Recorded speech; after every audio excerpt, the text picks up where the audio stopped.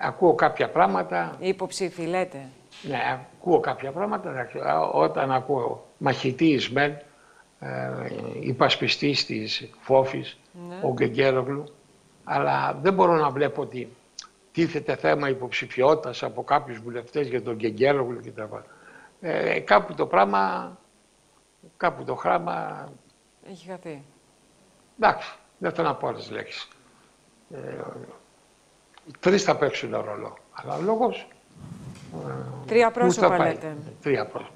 Ναι, ουσιαστικά οι, οι ημερομηνίες δεν αλλάζουν, παραμένουν. Η Το ένα Παρασκευή πρόσωπο μείνει- είναι ο Παπαντρέου, ο Γιώργος Παπαντρέου, ο Γιώργος, Ναι. το άλλο είναι ο Μπένι, ο Ευάγγελος Βενιζέλους. ναι, Ναι.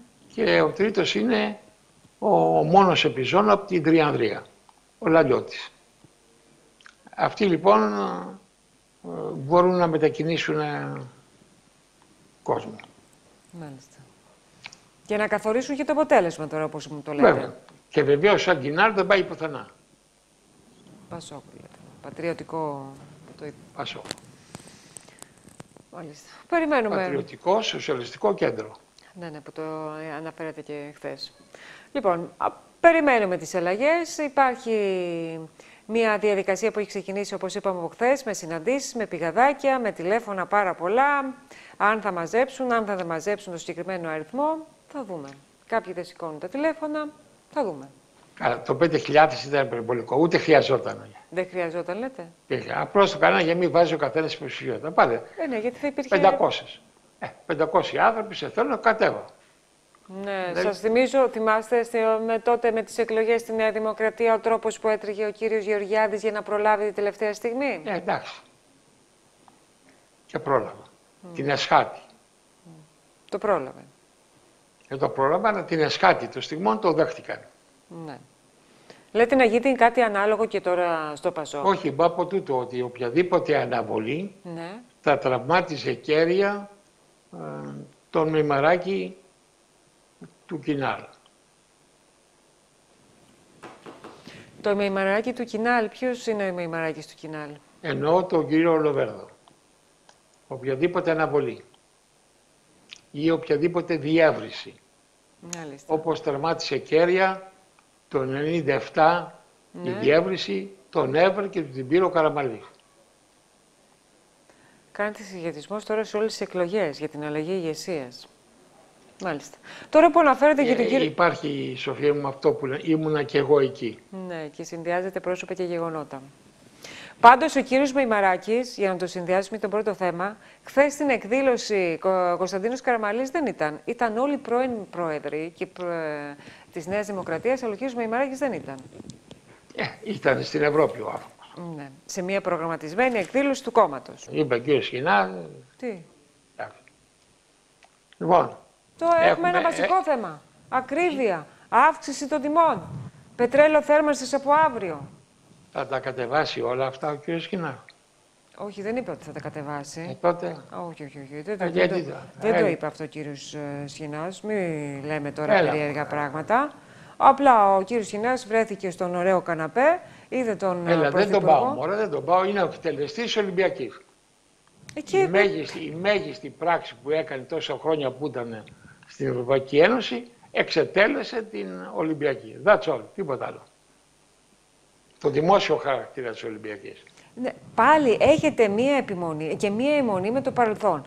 Έγινε στο παρελθόν. Ναι. Τώρα ο άνθρωπος έχει αλλάξει. είναι έχω αντιπρόεδρος της και Προφορική κάποια ωραία Επιτροπής. πράγματα Μπορεί να έχει τα θετικά. χάλασαν κάποιοι. Και ο Σχοινάς χάλασε την Ολυμπιακή. Ξεκάθαρα πράγματα. Τι να Όλοι είχαμε ένα σύνδεσμο με τον Εθνικό Αερομεταφορέα.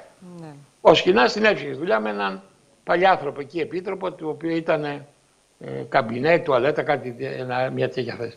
Λοιπόν, ε, και τη χάλασε η δουλειά. Και... Είμαι έτοιμος ανά πάση στιγμή να κάτσω να πω λεπτομέρειες εάν ο κύριος Σχοινάς θέλει να, να δώσει μια συνέντευξη και να του θέσω κάποια ερωτήματα.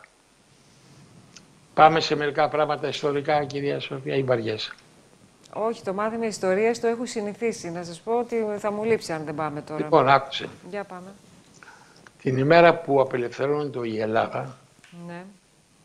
εκεί τις ημέρες πλήν, ο Χίτλερ από τις ενακρίσεις μαθαίνει ότι στην απόπειρα δολοφονίας του ήταν ανακατεμένος και ο Ρόμελ. Δηλαδή, σαν να μάθανε ο Παπαδόπουλος Άκριβος. ότι πάνε τον φάει ο Ιωαννίδης και στο βάθος ήταν ο Γκυζίκης. Λοιπόν, τον καλεί πίσω, ενώ ήξερε γιατί πάει Ναι. και ήταν, ε, είχε υπό τις διδαγές του τη μεγαλύτερη στρατιά του Τρίτου Ράικ και μπορούσε να, ε, να μπει επελάβνον ο- η- στη Γερμανία, πήγε μόνος του και του είπε ο Χίτλερ Είχε ε, απομακρυνθεί και ή επέστρεψε. αυτοκτονείς ή σε δικάζουν. Και αυτοκτόνησα και σήμερα. Έτσι, αλλά έμεινε ο Ρόμελ. Έρβιν Ρόμεν. Ρόμελ, Ρόμελ, ε, ο μεγαλύτερος στρατάρχης του Δευτέρου Παγκοσμίου Πολέμου. Αλλά πού τη έμεινε. Μπροστά του, μπροστά του Αιζεχάουρ, που έγινε πρόεδρος της Αμερικής ε, τέτοιες ημέρες, ε, ήταν ε, απλώς ε, οδοντόκρεμα. Μάλιστα. Ωραίο το μάθημα της ιστορίας. Δεν Α, ξέρω... δεν είναι μάθημα της ιστορίας, απλώς Ε, έτσι να μάθημα ξέρουμε της και οι ιστορίας. άνθρωποι, Τώρα, να αν πάμε να ρωτήσουμε ποιο ήταν ο Ρόμαν, δεν θα γνωρίζουν. Εσείς, ε, δε, κάποιοι θα Σαν και γνωρούν. σήμερα πέθανε Ποιος πέθανε; η Ελένη Βλάχου, η εκδότρια της Καθημερινής.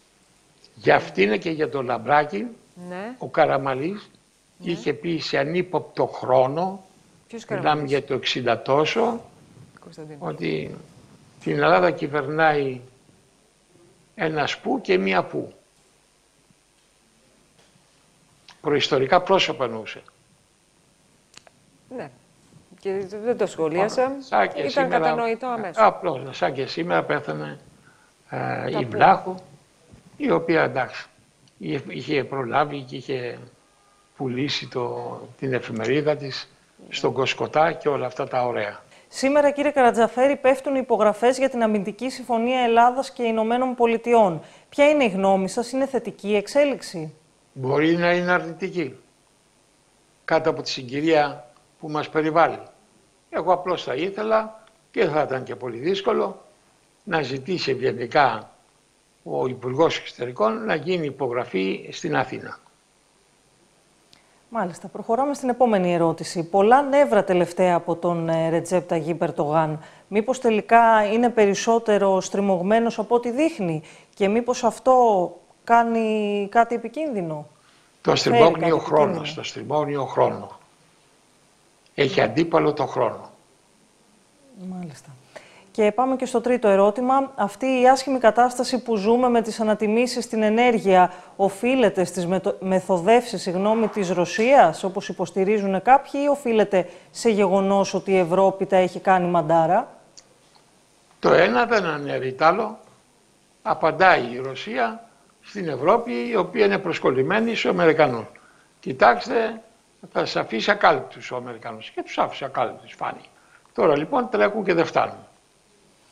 Και πάμε και σε ένα ακόμα ερώτημα. Τελικά υπάρχει ενότητα στη Νέα Δημοκρατία; Ή σιγοβράζει κάτι στο παρασκήνιο; Ναι, ό,τι και να σιγοβράζει, νομίζω ότι σήμερα η ηγεσία της Νέας Δημοκρατίας δεν κινδυνεύει από ανταρτοπόλεμο. Ε, Δεν νομίζω ότι μπορεί να απειλήσει κανείς σοβαρά το Μητσοτάκι σήμερα. Δεν ξέρω αύριο, αλλά σήμερα δεν μπορεί να τον απειλήσει κανείς. Ε, αν προλαβαίνουμε, προλαβαίνουμε Μία ένα ακόμα. Τελευταία. Ε, βε- βλέπετε επιστροφή του Γιώργου Παπανδρέου στο Κινάλ; Είναι στο Κινάλ, είναι βουλευτής του Κινάλ, αλλά προφανώς ο ηγεσία, από ό,τι τηλεθεατής καταλαβαίνουμε. ε, εννοεί εάν θα είναι εδώ στις ε, διαβουλεύσεις των επομένων ημερών. Ε, Έχω την αίσθηση ότι δεν μπορεί να υπάρξει ε, διαδικασία χωρίς την έντονη ε, παρουσία του, του Παπανδρέου. Εμέσως ή αμέσως.